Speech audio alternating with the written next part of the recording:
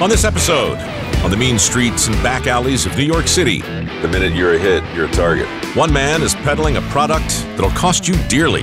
These are around $20 an ounce, whereas these are around 100 an ounce. Whoa! He's selling what's known as culinary crack. He's 22 years old. Just did a sale out of the back of his van for three grand. I'll find out why top chefs are paying top dollar. Honest to God.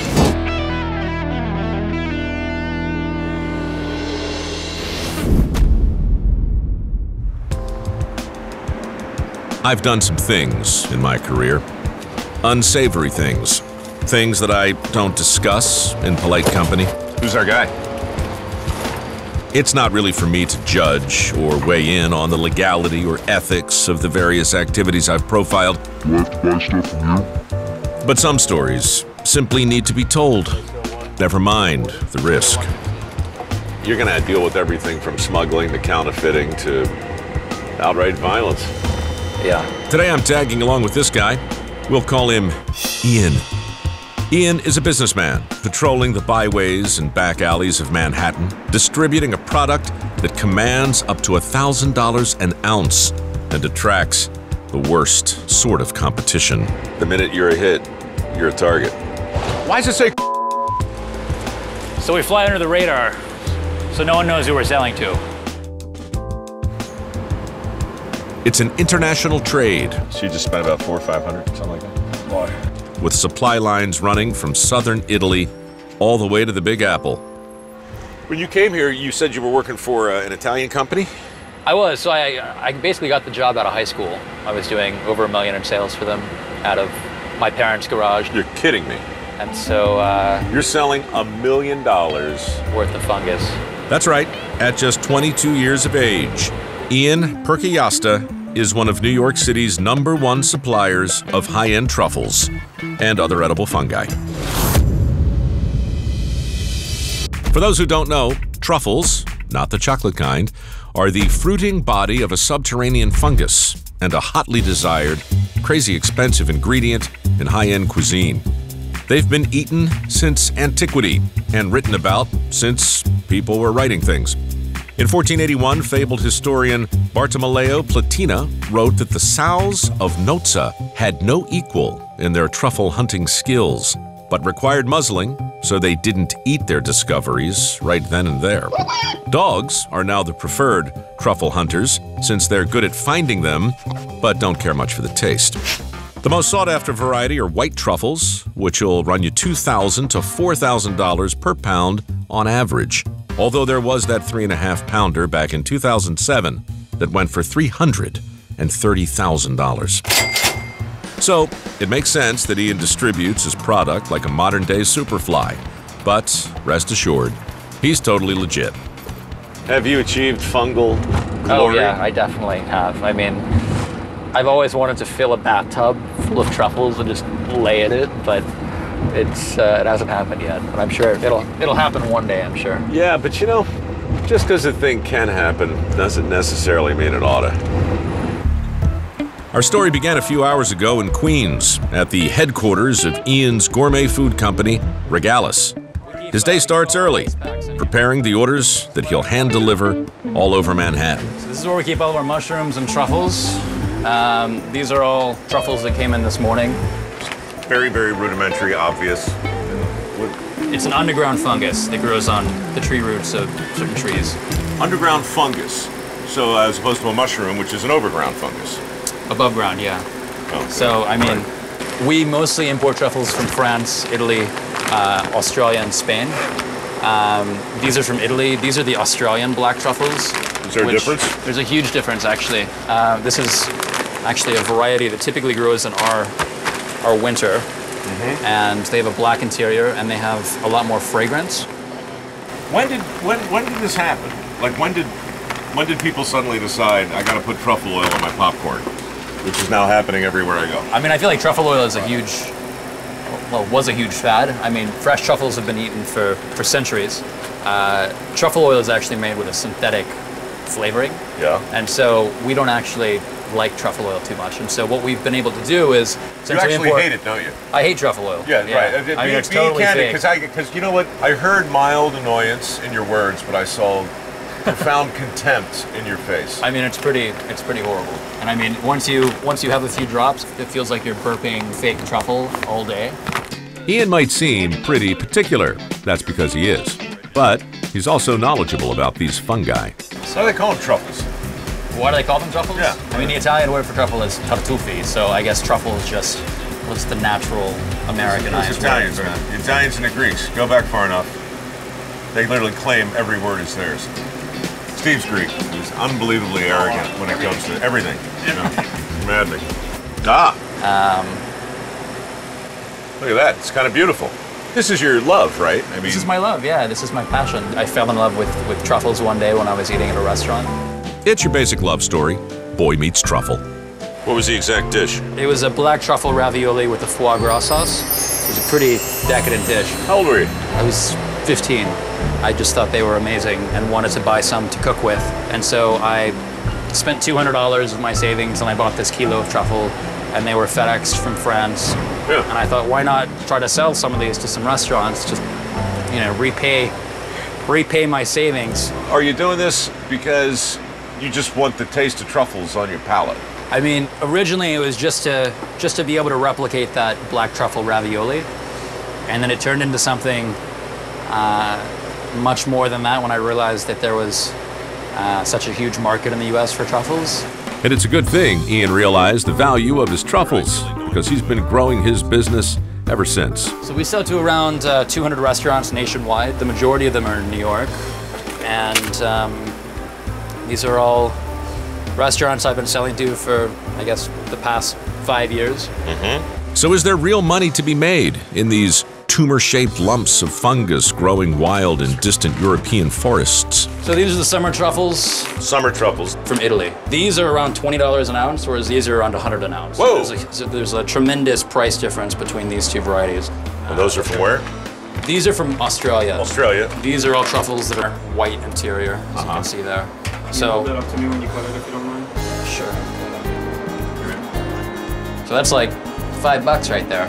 So I, I try to minimize the cutting. Five dollars. Doug, you're in them for five bucks. You got your shot, but I'm gonna need to see a little dinero. Turns out my French connection metaphor was not so far off base. You've got hundreds of thousands of dollars of truffles lying around. And that's the trouble with taking truffles to town. The truffle trade has trebled, and the tasty targets are terribly tempting. All right. What do you say we hop in that uh, tricked out truffle van?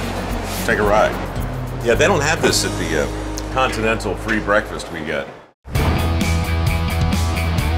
I'm leaving Queens and heading into Manhattan with 22 year old truffle impresario Ian Purkayastha. And while I'll be riding shotgun, I might feel better if I actually had one, because we are definitely potential targets. I guess any time, you know, the cost of a thing just becomes valuable. It's like a war. People get shot in the forest over infringing on their truffle territories. It's often cheaper if you're smuggling them in, you know, but Sure. I've never wanted to take the risk because all I really have is my reputation. And what is your reputation right now? Well, I, I think it's it's pretty good. Ian's not just building a rep as a trusted truffle pusher, So we're at our first restaurant. he's a boots on the ground distributor of his own merchandise, and he's keeping alive an old tradition, committing to the personal touch in an age when most of these kinds of orders are done online and through faceless shipping companies. Do you need Australian or summer truffle? Uh, Australian. How much are they apparently? Those are 480 and these are 590. 480, 590? Yep. Mark, how long you been buying from this guy? Oh, five, six years at a time? You're like 19? Driving 18? Around, driving around a PT Cruiser. It's come a long way. So an 18 year old kid pulls up in a PT Cruiser, knocks on your door, and says, "Want to buy some uh, truffles?" it was the first time. It's definitely, uh, we're used to dealing with some uh, older uh, salespeople. Yeah. We'll say that. But, uh, you know, it's like the product speaks for itself. He's passionate about it. And he shows up in the flesh. He's, do- he's, doing it himself. You know, we're not he's actually talking doing to a it. machine. There's Right, this right. person that you talk to. He comes, you can talk, you can look, you can feel. This is the reason we wanted to tag along, honestly. The potential for confusion and graft in the truffle world. Yeah. I mean, between the Australians growing what the French grow, and then between the Chinese thing that looks like that but really doesn't taste like anything, right? Yeah, yeah. It's So kind of hard. So it's like it's all about sourcing trust, and then at the end of the day, it comes down to like flavor and smells. Not to beat my drug metaphor all the way into the dirt, but Ian is definitely concerned with the quality and purity of his product, 800 bucks. and he casts a very Thanks. dim view on those who would exploit the truffle business for ill-gotten gain. Within the, the food industry, I mean, no matter if it's oil or if it's caviar or if it's truffle, there's some degree of adulteration of the product. And truffles in particular, like, if it's not Chinese truffles, then it's lying about the origin of the truffles. Truffles in general are very terroir based, like wine. Explain terroir. Everything from soil to geography to weather has an effect on the ultimate taste. Yeah. So a truffle from, from southern Italy will taste different than a truffle from northern Italy. In dealing almost exclusively with New York's most high-end restaurants, Ian is doing business with people who share his passionate commitment to quality. I got to tell you, man, you could fill a book with what I don't know about truffles, but it just seems like the whole thing is ripe for uh, shenanigans. You know? Yeah, it's all about cultivating a friendship, you know? Making sure Ian's not ripping us off. He seems to be a very unflappable, uh, steady Eddie kind of guy. You know, Doug, if you're gonna make a call, go ahead and do it. I'm sure they do uh, carry out here at the uh, at the craft. Free long distance. What are you looking for exactly? Density, water content. Uh, is there any bruising? How the marbling looks on the inside? And then odor. If it has a strong odor, obviously it's been cut for a little while, and they're a little bit older, a little longer out of the ground. If it Right. doesn't smell too too strong, you know it's pretty fresh. I look at them like snowflakes, to tell you the truth. I, no two are exactly the same, and yet they each look in their own way like a tumor. Basically. You, can, you probably don't want to put that in your sales literature. 400 grams, 71 grams, 200 grams. It's gonna be a big one. Why is food so expensive anymore? Not enough of it. With the good stuff. Yeah, you know, like it's, it's a big thing. We try to serve GMO-free, antibiotic, hormone-free, responsibly sourced, buy from the market, all those great things. And to do that, it's cost more. You're talking about your uh, genetically modified organisms. Then. Yep. Huh. What do you spend? 14, 14. Woo! You win for the day so far. There's like three restaurants so far. I think we're about $3,000 in. You know? People like him. That's the key. Gotta be likable. So what's the plan? I mean, I don't have any ambition to be, you know, a billion dollar company that has 500 delivery trucks and a fleet of salespeople because then I lose those personal relationships that I value so much with my with my customers. Ian had better value those relationships because they are extremely valuable, like thousands of dollars valuable. He's 22 years old. He's building a business. Just did a sale out of the back of his van for three grand. So I'm keeping track today. We're already over 10.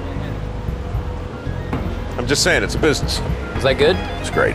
I, I, in particular, was good on that one, I thought. I thought I was okay on that one. You were average. Yeah. After shadowing Ian all morning, I've picked up some pointers. Why don't you give it a shot on this sale? But am I ready to step into the firing line and become a truffle boy myself? I can go down to like 115 a pound on these. $115. But let's start them a little higher, so maybe Wholesale. like let's start them at 140, okay? All right. What's up? How are you? Good man. Hey, Mike. Hey, nice to meet you, Mike. How are you? He's about to let me offer you some Yes, you truffles. Was it uh, black winter or black summer? Summer truffles. That's the. Take like a pound. Smell. Pound? If the price is right. Yeah? Smell all right? Huh? 140? I think I might have more confidence in me than Ian has in me. It's only 820 bucks. That's it? Yeah. What was that? What was what? What was that? You uh You panicked. I panicked. Yeah, you panicked. You, you weren't uh I was gonna give it a second. No, I was. Well, you didn't give me a chance. You come right up to 140, 140, 140, it's 140. You little face. next one. man. Next one. Next one, nothing. Come on, man. Nope, he doesn't trust me. Fair enough. In this competitive business, perhaps there's some basis for trust issues. Your competitors, they would mess with you? Yeah, I've had I've had a, a tire slash before, so it's uh You figure a truffle competitor slashed your tires, and so now you're under this name. And now we've just put it on the air. I know you'll have to blur it out or something. Keep me safe. I think you're gonna have to come up with a new name, man. I'm learning the ins and outs of selling high end merchandise out of the back of a van with Truffle Wonderkind Ian Purkayastha. And at this point, I don't know how many restaurants we visited. Will this day never end? Seems like that. I do know that after manhandling truffles all day, I am more than ready to taste some. All right then. Where are we? We're Bouley, right in there. David, we need some more cameras. I know. How are you? Yeah, this right. is Mike. Mike. How are you, David? David Bouley is one of the top chefs in the country, probably in the world. He opened his first Bouley restaurant nearly 30 years ago, and it holds the distinction of being the first eatery to ever receive a Zagat rating of 29 out of a possible 30. So, am I excited about the prospect of eating truffles prepared under his guidance? Uh, yeah. After 29 years being open, we have a lot of people that are very discriminating Yeah. in terms of foodies. Yeah. Like all the chefs I've met today, David is a true believer in Ian and in his mission.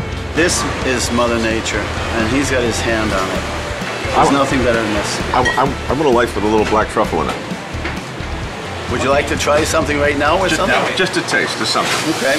Finally, the time has come to find out if these truffles are just a faddish folly or if their taste truly makes them worth their weight in gold. Inside is a cheese from France called Cremant that's already mixed with black truffle.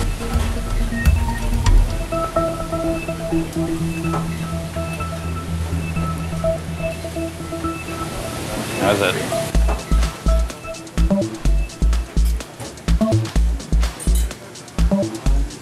That's unbelievable. Wow. See, this is how they get you. The first taste is always for free.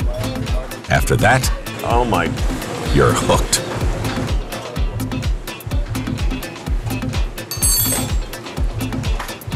I mean, that's aggressively good. It's like belligerently good. This is based on a dashi. It would be a porcini flan in France or a chawanmushi in Japan. Dig deep and take a full mouthful.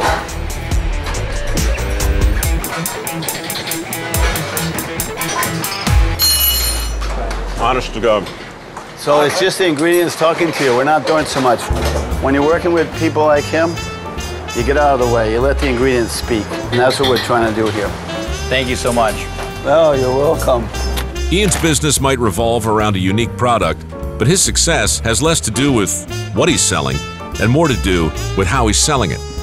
He's out there in person, pressing the flesh, beating his competition to the punch, and doing whatever it takes to keep his customers satisfied. As long as no one muscles in on his territory, this truffle boy has got the town in the palm of his hand.